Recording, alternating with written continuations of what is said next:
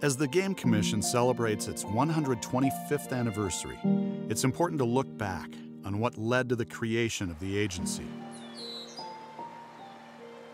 Pennsylvania's wildlife losses bordered on catastrophic before the Game Commission was created. Through the 19th century, wildlife lost its habitat to development, was challenged by pollution, and was killed for table fare, bounties, and target practice.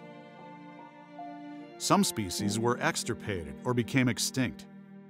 In 1895, the General Assembly responded by creating the Pennsylvania Game Commission to manage and protect what wildlife remained.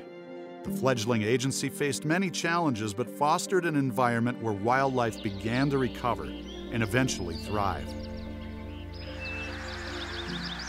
With money provided by hunting licenses and wardens to ensure laws were followed, Pennsylvania's wildlife management programs grew to become some of the nation's finest.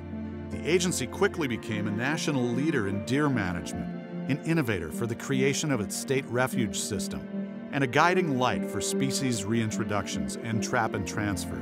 It was also one of the earliest proponents for songbird conservation.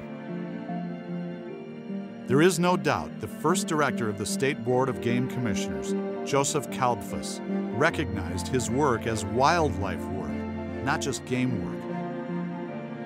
He noted in his 1908 annual report that it is as much the duty of this commission to see to it that our officers go as far to give protection to the bluebird or a robin or a wren as they would give protection to a wild turkey, to a deer, to any other species of game.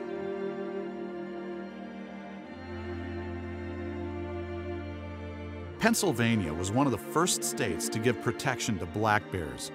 In 1911, bear traps were banned, and to bolster their populations, bear season was closed multiple times. Bear hunting was reopened in 1979, and today, Bruin numbers are the highest they've ever been. The Game Commission went on to bring back species extirpated from the state. In 1913, 1916, and 1926, shipments of wild elk from Yellowstone, Jackson Hole, and South Dakota were sent via railroad to become what is now a thriving herd on our north central tier, providing hunting opportunities for those fortunate to be drawn for a tag and bolstering local economies through the thousands of visitors to the elk range. Bald eagles declined and almost disappeared when, by 1982, Pennsylvania had a mere three nests remaining in the state. Immense efforts were put forth to bring birds from Canada and raise them out of makeshift eagle nests. From these lofts, or hack towers, grew what is now well over 300 active bald eagle nests in Pennsylvania. Other species, almost completely eradicated from Pennsylvania but now restored, include the otter and fisher. Prior to 1900, degradation of water quality and habitat, human encroachment, and unregulated harvest led to a 75% decline in North American otter populations. Between 1982 and 1992, 153 otters were reintroduced in central and western Pennsylvania watersheds. The resurgence of river otters in North America is one of the greatest modern wildlife conservation success stories fisher were also brought back after over a 70 year absence from the Keystone State and now have spread nearly statewide to include all their former range. Surprisingly, species bolstered by trap and transfer include white-tailed deer, turkey, bear, and beaver. Only a handful of years ago, the amount of acreage in the game land system eclipsed the 1.5 million acre mark. Each game land has a prescriptive plan created to manage habitat type based on species need. Our staff have been doing this work since we had a refuge system in the early 1900s. Game lands are a place that provide recreational opportunities for hunting and trapping, as well as other activities. There are game lands in all but one Pennsylvania county. No other state can lay claim to so much wealth in public land. Land that is entrusted to sportsmen for the benefit of wildlife. Our state wildlife agency is just as important today as it has ever been.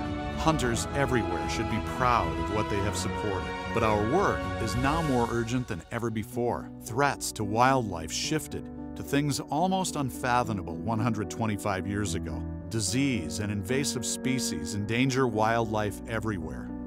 Our bald eagles, now recovered, are being threatened by lead poisoning.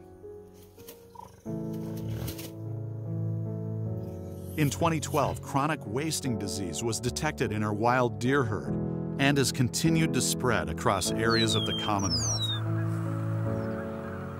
Nationwide, 35% of wild bird populations have disappeared.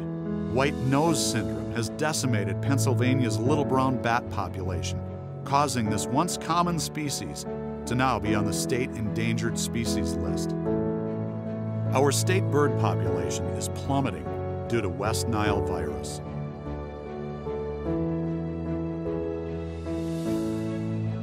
All of these challenges demonstrate that the work of the Game Commission today is just as vital as it was in 1895 when the agency was created. We still need the support of hunters, trappers, wildlife watchers, and those who care about the Commonwealth's natural resources.